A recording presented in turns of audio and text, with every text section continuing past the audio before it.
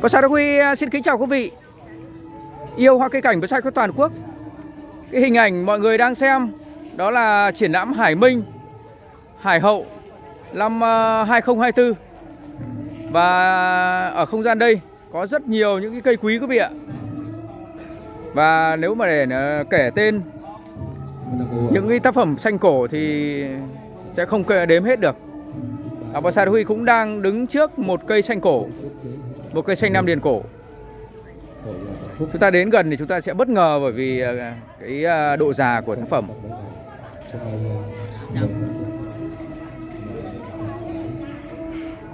Quá khủng khiếp quý vị ạ.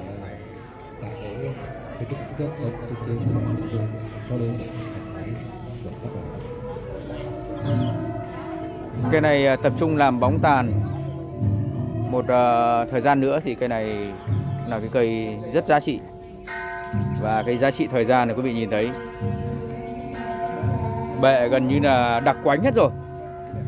Chảy như nham thạch rồi.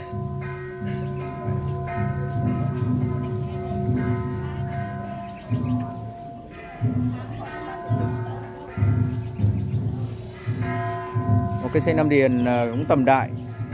Cao từ mặt chậu lên à, cũng rơi vào khoảng à, một mét sáu quý vị ạ và đây là cây của anh à, anh Phạm Luận nha quý vị nhé anh Phạm Luận là anh anh à vâng. Luận, à, chào anh em à, yêu cây cả nước nhá. Chào các anh nhá. Rồi. đây chào tất cả các anh à, đang tham quan ở đây. Vâng. Anh Phạm Luận thì anh mang mấy tác phẩm nhỉ? Anh mang tất cả là năm sáu tác phẩm nhưng mà chỉ có hai cây là duy nhất ở trong uh, khu vực sân chính thôi. Vâng ạ. Cây à. được uh, lựa chọn.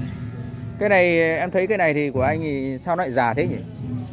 Nói chung là anh cũng các cụ để lại thôi chứ còn tầm tuổi anh thì làm sao mà có những cây già như này. Vâng. Chỉ có đời các cụ mới có những cây như này thôi chứ còn già thế. Rồi cái cây cái nét uh, cốt trậu thì quý vị nhìn thấy khủng khiếp. Cái này ngày trước uh, có thả nước không anh? Cái này thả nước ấy chứ. À, trước thả nước đúng không? Trình thả nước uh, vì muốn cho lên, đi chơi cho nó sạch sẽ thì lên đá. đất vào cho nó mịn mịn như vậy. Vâng ngày trước là cây uh, lên đá thả nước quý vị nhé chưa cho ăn một cái gì. Bóng tàn thì các anh đang xây dựng xây dựng để phát triển cho bóng tàn cho nghệ thuật hơn.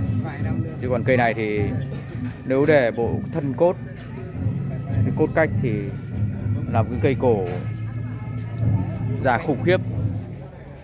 Và anh có chia sẻ là anh ấy mang hai cây đúng không? Anh hai cây hả? Cây nữa của anh là cây à, có gần đâu không anh? À, anh dẫn em ra đâu à, dạ, anh ấy anh hỏi anh ấy ạ. Anh luận đây ạ anh ơi cây này à, em đang à, muốn giao dịch một tỷ anh ạ.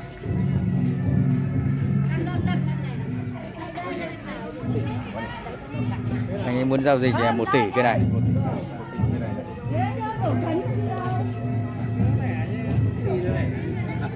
Được anh. Tỷ nữa này chúng ta đến cái cây thứ hai của anh ấy. Cái này thì cây ờ, cây hai thân Ủ cây này thì cũng một cái độ già như vậy.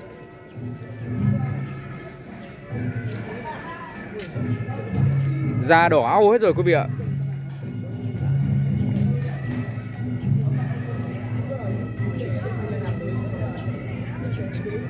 Cái này thì cái nét bo đá, Nét lên đá Đẹp hơn. Một cây hai thân.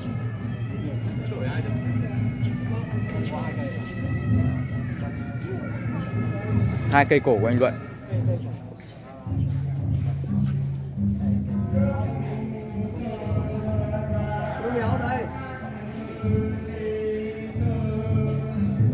Cái này thì ờ, chúng ta cần ờ, co kéo, định hình lại bông tàn. Thì mất một thời gian ngắn nữa.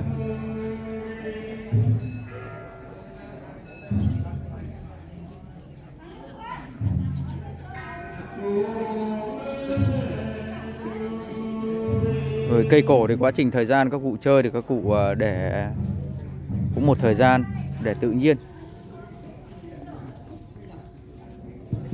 Chúng ta cần điều chỉnh lại thì cây này à,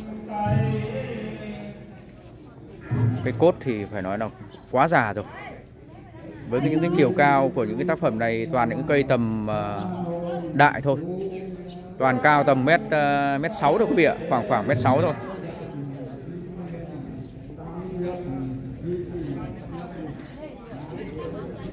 Anh sở hữu hai cây này lâu chưa anh? Nói chung là sở hữu thì cũng ờ, được có mấy tháng thôi. À mấy mấy tháng thôi. có các cụ ờ, chuyển nhượng cho là cũng ờ, mất bao nhiêu công sức thì đi lại với lại mới mang được cụ mới nhượng lại cho để Vâng. anh em gọi là vâng. mang được hai tác phẩm về. Vâng. Còn để mà nói sở hữu thì mình thì chưa có thể thể nói làm được ra những cái tác phẩm như này với tuổi còn Vâng. trẻ năm nay mới có 50 mà cái cây này nó bao nhiêu năm thì làm sao mà. Đúng rồi đúng rồi. Thì, à, chúng ta là cái thế hệ sau chúng ta được thừa hưởng chưa hưởng. Cảm ơn những cái um, những cái tác phẩm của tranh cổ của các cụ để lại. Hôm nay ngay tại Hải Minh quý vị nhé Hải Minh thì Bác Sa Huy à, chia sẻ cho quý vị hai tác phẩm của anh à, Phạm Luận anh Phạm Luận à, có mang hai cây cổ già lắm quý vị ạ. Có lẽ là cái tuổi thì cây thì à, đứng hàng à, top ở trong triển lãm Hải Binh lần này. Còn cái giá trị nghệ thuật thì Bonsai Đô Huy chưa nói đến. Nhưng cái giá trị thời gian, cái tuổi cây thì rất lớn. Và cây cổ thì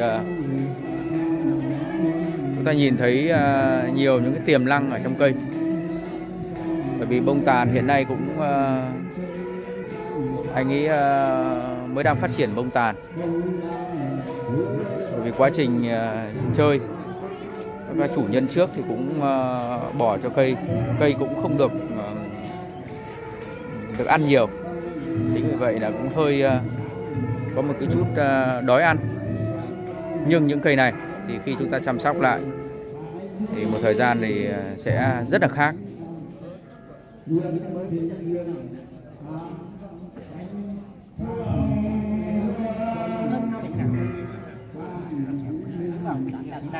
thưa quý vị, Bonsai Huy à, chia sẻ hai tác phẩm của anh Phạm Luận cho quý vị ok cả nước cùng chiêm ngưỡng. Anh em à, cảm ơn anh nhá. rồi à, chào anh em nhé Chào các anh nhá. Rồi. À, vâng. Bonsai Huy xin được à, chào tạm biệt quý vị. Quý vị hãy theo dõi những cái thước phim tại triển lãm Hải Minh bởi vì à, triển lãm Hải Minh nhiều cây đẹp lắm quý vị ạ. Không gian triển lãm thì bao la. Và triển lãm được tổ chức ở chùa Phúc Hải, xã Hải Minh, huyện Hải Hậu, tỉnh Nam Định. Nếu ờ, quý vị nào ờ, có điều kiện về với ờ, Hải Minh thì qua tham quan triển lãm để được hòa mình với không gian triển lãm ấn tượng này. Và Sa Đô Huy xin một lần nữa xin được chào tạm biệt quý vị.